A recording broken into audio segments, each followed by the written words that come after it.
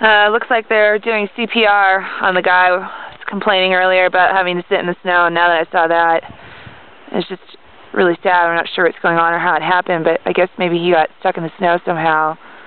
Um, I think the guys down there were doing CPR for quite a while. I've been sitting here for about 15 minutes.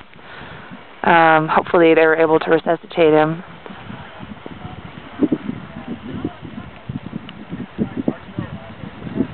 We're at Homewood right now. People are just kind of sitting around wondering what's going on. We don't know how the accident happened, but they've closed down the run that I'm on.